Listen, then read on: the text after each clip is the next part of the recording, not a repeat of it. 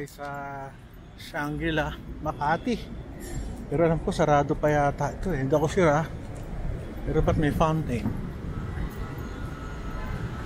At tayo. Ito naman yung parking lot before. Parang nire-renovate eh. Ba't papuntang parking ito eh. Ito Anson. Ito I think ko landmark. Landmark na. Shangri-La. Lang kung binawa na to. Operable.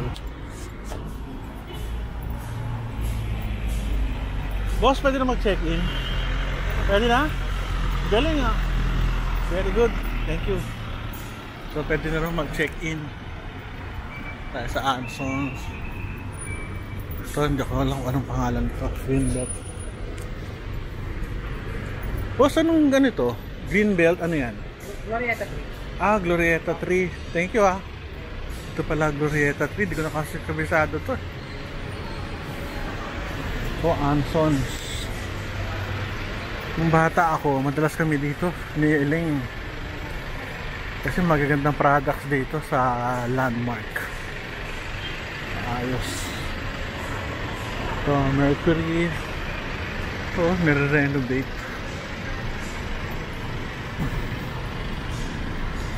Bata ako, may liok sa Glorieta 3. Ayan na ako. Ay, nako. Landmark. 1990s pa lang, din na kami namimili ni Mrs.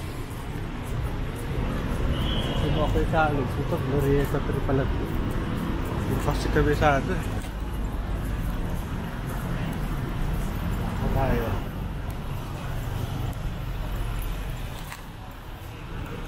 Luma na rin yung floors, oh.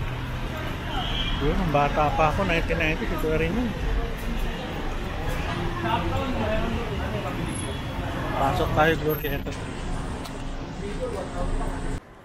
Parang chill pa rin. Ayan, Triumph. Favorite na panty ni Mrs. Ganda ng quality. Meron din bench. Si Sila meron din siyang ganyan. Underwear, mga damit. Bumibili din ako sa bench. Minsan-minsan. Lalo nung payat pa ako nun.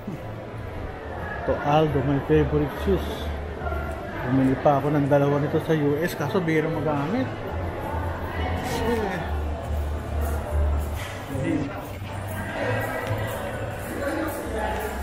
Ano eh, nire-renovate eh, oh. Ang daming takip. Ito nung bata kami, meron ditong fountain nakakatuwa. Kung nagkaroon dito ng mga parang flea market sa gitna, ngayon wala. Ganda to no. Hindi nawala yung fountain, lumuwag, pero gumanda. Gumanda siya. Saka yung fountain dito. Ganda oh.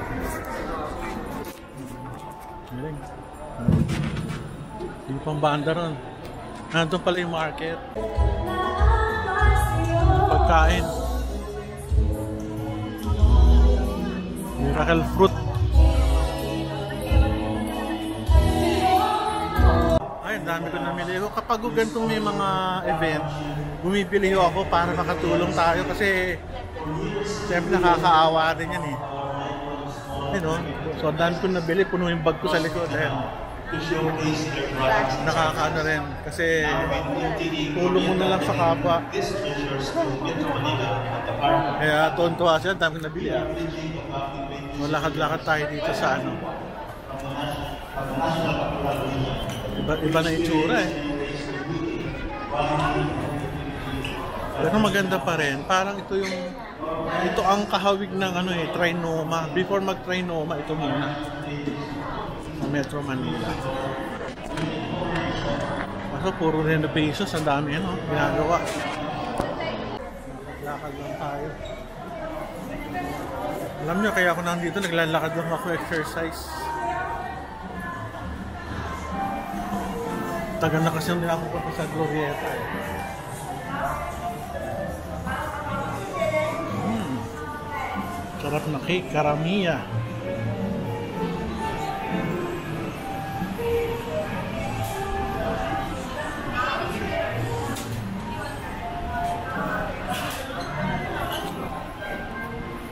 Oh.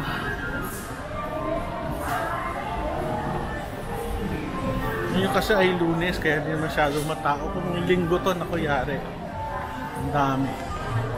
Ito yata sa baba yung ano nito eh. Bustans. Hindi na kasi kabisado to. Bihira ako dito.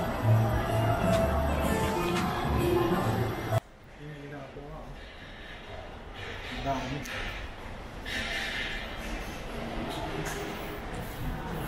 Mayroong mga patay na lugar katulad nito. oh. Walang dumadaan. Problema dyan, yung foot traffic. Yan, maganda ang foot traffic mo.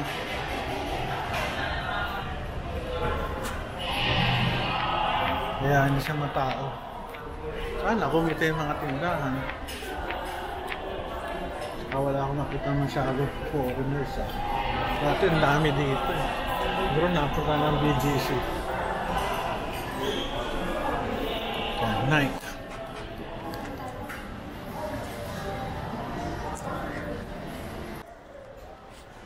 Laki masyado eh oh.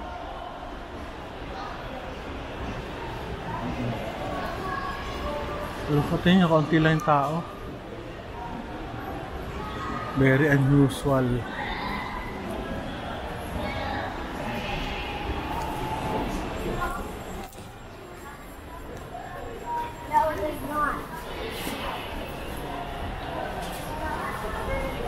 PO.